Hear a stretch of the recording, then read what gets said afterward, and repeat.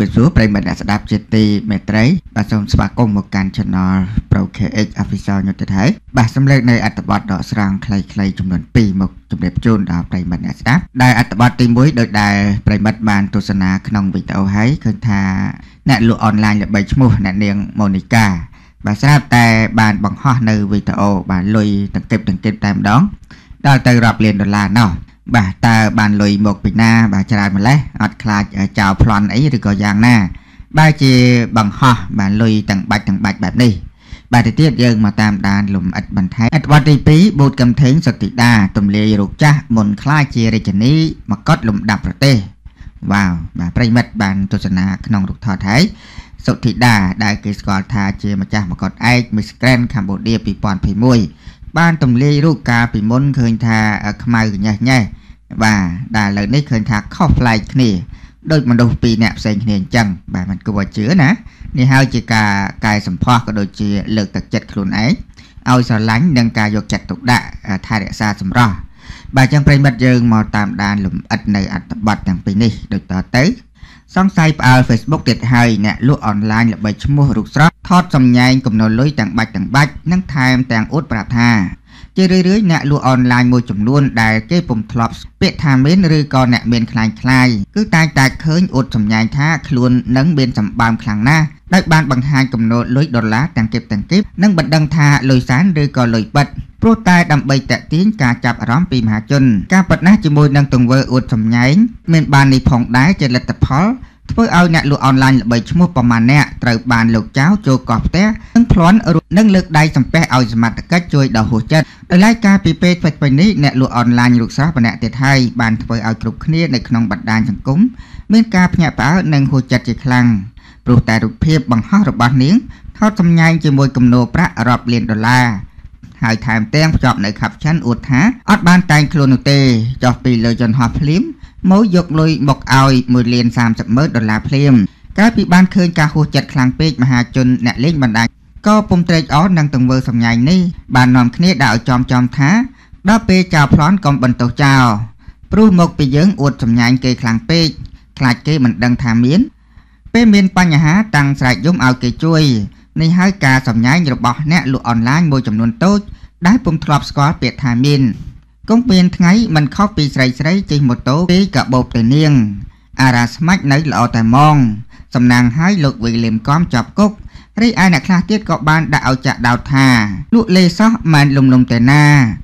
លុយសែនឥឡូវដូចលុយប៉ិតអញ្ចឹងដល់តែចាប់បានដឹងថាលុយប៉ិតឬក៏លុយសែនបាទប្រិមិត្តនេះគឺតកតងនឹងការចាប់អារម្មណ៍ទៅលើអតីតតារាចម្រៀងអ្នកនាងម៉ូលីកាបាទស្រាប់តែថ្មីថ្មីនេះ បានបង្ហោះនៅវីដេអូ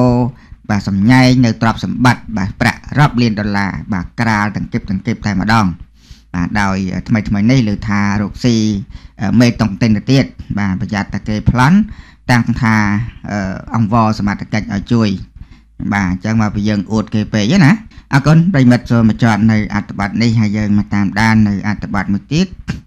ប៊ូកំថេងសុធិដាទំលាយរូបចាស់មុនខ្លាចជារាជនីបកតលំដាប់ប្រទេស អ្នកលេងបណ្ដាសង្គមមានការភ្ញាក់ព្រឹកគ្រប់គ្នាតែម្ដងដែលមានការបើកបង្ហាញរូបថតចាស់កាលពីមិនទាន់ចូលសិល្បៈកញ្ញាសុធិដាមិនយញើតនឹងការបង្ហោះរូបថតនោះឡើយដោយសារតែយល់ថាធម្មជាតិសម្រស់របស់មនុស្សមានការប្រែប្រួលទៅតាមអាយុកាលសំខាន់មើលឲ្យខុសគ្នាដាច់ដូចមនុស្សពីរនាក់ចំណាំមិនចង់បាន បង្ហាញនៅរូបភាពសិទ្ធិថ្មីថ្មីនៅលើបណ្ដាញសង្គមប៊ូកំថេងសុតិដា Miss Grand ឆ្នាំ2021បានទម្លាយរូបចាស់មុនចូលប្រកួត នាងបានភ្ជាប់ជាមួយនាងបានភ្ជាប់ជាមួយនឹងសារយ៉ាងចាក់ដោតជាការលើកទឹកចិត្តដល់នារីនារីសុធីតាបានរៀបរាប់ទាំងស្រុងថាការលើកទឹកចិត្តសម្រាប់មិត្តនារីគ្រប់រូបសុធីតាបូតកំថេង official ជូនចំពោះបងប្អូនដែលហៅខ្ញុំស្ដាច់រៀងស្អាតលើលោកនេះមិនមានស្រីអាក្រក់ទេមនុស្សស្រីទូទាំងពិភពលោកសិតតែស្រីស្អាតតែម្នាក់ម្នាក់មានភាពស្រស់ស្អាតរៀងៗខ្លួនទៅតាមធម្មជាតិដែលផ្ដល់ឲ្យ មិនមានអ្នកណាកើតមកស្អាតល្អគ្រប់ដប់នោះឡើយម្ចាស់មកុដរូបនេះបានសង្កត់ធ្ងន់ថាសំខាន់ខ្លួនអ្នកដែលជាម្ចាស់ខ្លួនស្រឡាញ់ខ្លួនបានកម្រិតណាប្រឹងកែប្រែខ្លួនបានកម្រិតណាឆ្នៃខ្លួនឲ្យមានតម្លៃទើបអ្នកដតីត្រូវការចូលស្រឡាញ់ខ្លួនឯងឲ្យបានច្រើនបំផុតមុននឹងចង់ឲ្យអ្នកដតីស្រឡាញ់ខ្លួនអ្នក ដែលជាខ្លួនរបស់អ្នកសម្រាប់ពិតសំខាន់តែអ្វីដែលសំខាន់បំផុតថែមទៀតនោះគឺសុខភាពការប្រឡងរដូវកាលថ្មីឆ្នាំ2022នៅប្រទេសកម្ពុជា បាននឹងកំពុងចាប់ផ្ដើមបើកដំណើរការដោយបើកបង្ហាញបេក្ខភាពឲ្យសាធារណជនបានឃើញបណ្ដាបណ្ដាទោះជាការប្រឡងផ្ទុះឡើងនៅចំណុចខ្លះលើបេក្ខភាពហងសុរិយានតំណាងខ្មែរក្រោមក៏ឃើញថានៅតែផ្ដើម ដាក់ផែនការឲ្យដល់គោលដៅរីណារៀមច្បងបូតកំថេងសុទ្ធិដា ក៏មានភារកិច្ចនៅក្នុងការតាមដានបេក្ខភាពនិងចែករំលែកបទពិសោធន៍ឲ្យបេក្ខជននាងคล้ายទៅជាមេប្រយោគដ៏សំខាន់ក្នុងការដាក់ពិន្ទុដើម្បីស្វែងរកជើងខ្លាំងបន្តវេនពីនាងហើយឆ្ពោះទៅឆាកអន្តរជាតិនាប្រទេសឥណ្ឌូនេស៊ីជាអ្នករៀបចំត្រឹមតែកម្ពុជានោះទេដែលចូលចិត្តសុធិដាក៏រុញឲ្យប្រជាពលរដ្ឋថៃមួយចំនួន បានគ្រប់គ្រងនាងនិងចាត់ទុកថា ជាជើងខ្លាំងម្នាក់នៅក្នុងការប្រឡងបាទប្រិមិត្តនេះគឺតកតើងនឹងការចាប់អារម្មណ៍ទៅលើបបកញ្ញា បាទ Miss Grand Cambodia 2021ប៊ូកំថេងសុទ្ធិដា បានបង្ហោះនៅរូបថតកាលពីមិនទាន់ចូលសិល្បៈឃើញថាខុសភ្លេចឃើញថាខ្មៅកញ្ញះញ៉េះនោះទេ បាទអត់ទាន់កែប្រែខ្លួនណាបាទស្រាប់តែលើនេះឃើញថាខុសគ្នាដាច់ស្រឡះបាទស្រស់ស្អាតមែនតែនមើលមិនចង់ស្គាល់ អរគុណប្រិយមិត្តសម្រាប់ការតាមដាននៅអត្ថបទទាំងយុទ្ធថៃបាទសម្លេងនៅអត្ថបទដកស្រង់បាទខ្លីៗចំនួន3មកជម្រាបជូនដល់ប្រិយមិត្តអ្នកស្ដាប់ដែលអត្ថបទទី1អញនោះដឹងការប៉ັດហើយ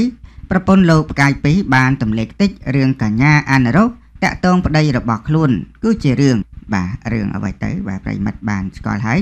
លោកជំទាវកៅមួយលេងដែលគេស្គាល់ថាជាភរិយារបស់លោកផ្កាយពីរ ហើយលើកថារហូតដល់មានការបែកបាក់គ្នាផងដែរដែលអះអាងថាស្វាមីរបស់ខ្លួនមានស្រីក្រៅអីជាដើមរហូតដល់ឥឡូវនេះស្រាប់តែទម្លាយថាអាណារ៉ូបាទតាក់តងប្តីរបស់ខ្លួនបែបនេះទៅវិញបាទទៅទៀតយើងមកតាមដានលំអិតបន្ថែមអត្ថបទទី2ស្រីស្អាតសេងសុខឹមនិងគូស្នេហ៍នៃជើមនិយាយថាមនុស្សខ្លះមិនស្រឡាញ់គេ តែទៀមទេឲ្យគេស្រឡាញ់ខ្លួនឯងអញមិនអញ្ចឹងទៅវិញបាទប្រិមិត្តបានទស្សនាក្នុងរូបថតហើយ អ្នកមើលម៉ៃកូនមួយអ្នកនាងសេងសុខឹមបាទឃើញថាសម្រស់នៅតែស្រស់ស្អាតលេចធ្លោដដែលបាទទោះបីជាធ្លាប់មានស្វាមីនិងកូនរួចទៅហើយក្តីប៉ុន្តែនៅតែស្រស់ស្អាតបាទឥឡូវនេះស្រាប់តែពោពាកបាទយ៉ាងចាក់ដោតបែបនេះទៅវិញបាទទៅទៀតយើងមកតាមដានលំអិតបន្ថែម អត្ថបទទី3អាយ៉ានៅសុកសុកស្រាប់តែលោកងួនច័ន្ទដេវីតប្រកាសលក់ឡានជាបន្ទាន់ក្នុងតម្លៃត្រឹមតែ បាទតែប្រហែលទៅបាទប្រិមិត្តបានស្គាល់ហើយតារាចម្រៀងរ៉េបដ៏ល្បីឈ្មោះលោកងួនច័ន្ទដេវីតដែលតែងតែបង្ហាញខ្លួន បាទស្ទាយបែបយុវវ័យប្លែកប្លែកហើយក៏បានបង្ហាញនៅរថយន្តបាសេរីទំនើបទំនើបនោះបាទឥឡូវនេះស្រាប់តែ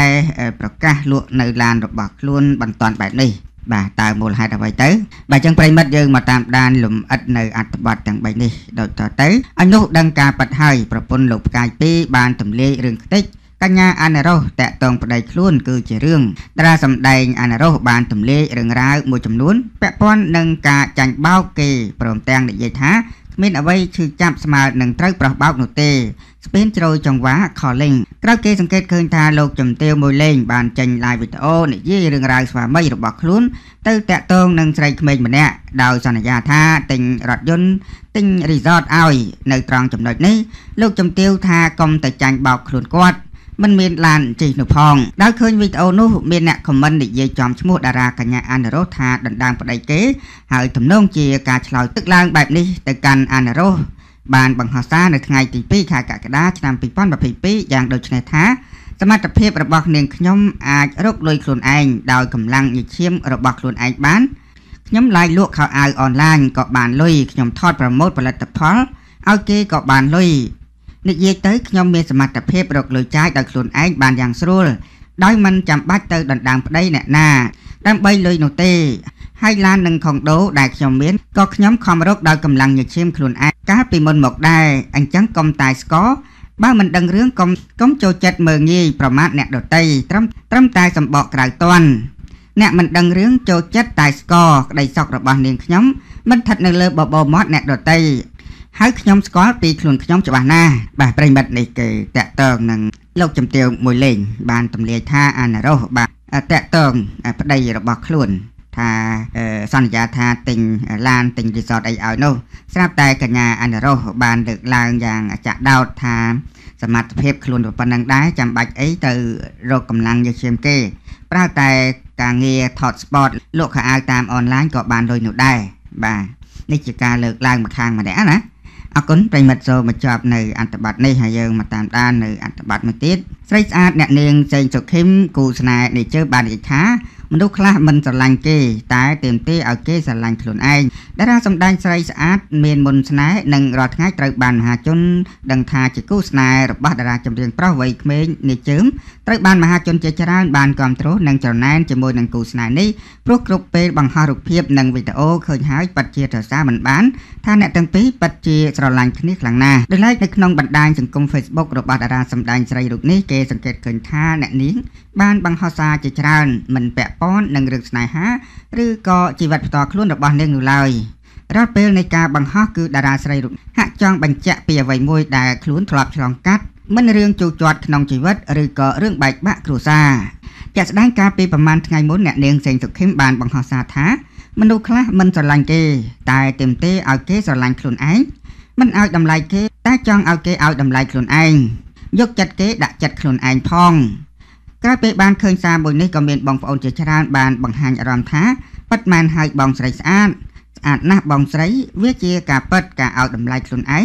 គឺជារឿងមួយដែលល្អបំផុតសម្រាប់មនុស្សយើងម្នាក់ម្នាក់បាទប្រិមិត្តនេះគឺតកតើនឹងការចាប់អារម្មណ៍ទៅលើបាទសង្សារនៃជើមអ្នកនាងសុកឃឹមដែលជាតារាសម្ដែងមួយរូបផងដែរបាទឥឡូវនេះឃើញថាបានបង្ហោះសារយ៉ាងចាក់ដោតដោយមនុស្សខ្លះហ្នឹងចង់ឲ្យគេស្រឡាញ់ខ្លួន បាទតែខ្លួនឯង បាទអត់ស្រឡាញ់ទេអរគុណប្រិមិត្តសម្រាប់ការតាមដាននៅអត្ថបទនេះហើយយើងមកតាមដាននៅអត្ថបទមួយទៀតឲ្យនោះនៅសុកសុកស្រាប់តែលោកងួនច័ន្ទដេវីតប្រកាសលូកឡានជាបន្ទាន់ក្នុងតម្លៃត្រឹមតែ មហាជនជាច្រើនបច្ចុប្បន្នស្គាល់ហើយតារាចម្រៀងប្រុសរ៉េបលោកងួនច័ន្ទដេវីតបានធ្វើការប្រកាសនៅលើបណ្ដាញសង្គម Facebook នៅថ្ងៃទី3ខែសីហាឆ្នាំ2022នេះថាលោកងួនច័ន្ទដេវីតបានសម្រេចចិត្តលក់ឡានផ្ទាល់ខ្លួនក្នុងតម្លៃក្នុងតម្លៃថ្លៃមិនធម្មតានៅក្នុងគណនី Facebook របស់ខ្លួនលោកងួនច័ន្ទដេវីតបានប្រកាសលក់ឡានផលិតមានកំណត់ M McLaren 650 MSO Edition វាយចេញក្នុងតម្លៃ 170k ស្លាកលេខកម្ពុជាព្រមជាមួយគ្នានោះដែរលោកក៏បានប្រាប់ថារឿងរឿងលំបាកមានពីរគឺ1ប្រាប់គេអត់លុយគេអត់ជឿពីរខ្ចីលុយគេគេអត់ឲ្យអញ្ចឹងក៏សម្រេចចិត្តថាលក់ឡានទន្ទឹមនេះដែរក៏មានបងប្អូនជាច្រើនបានចូលខមមិនថាសង្គមបច្ចុប្បន្នគេមើលឃើញតែមានភាពមានបានរបស់បងទេហើយគ្មាននរណាម្នាក់ដឹងពីសុខទុក្ខរបស់ខ្លួនយើងនោះទេបងមានឡានថ្លៃលក់ជាសមត្ថភាពដ៏ថ្លៃថ្លារបស់បងហើយ ទទួលនៅអ្វីដែលខ្លួនមានហើយប្រាប់ថាលក់អានឹងដាក់អានេះវិញបានជឿជឿចាប់បំផុតពេលអត់លុយប្រាប់គេគេអត់ជឿបាទប្រិមិត្តនេះគេតាក់ទងនឹងតារាចម្រៀងរ៉េបល្បីឈ្មោះលោកងួនច័ន្ទដេវីតបានបង្ហោះសារថាលោកបាទអត់លុយអីនោះទេ គឺសម្រាប់ចិត្តថាលោកឡានទៅហើយគឺឡាន Mark M McLaren ដែលឡានទំនើប 170K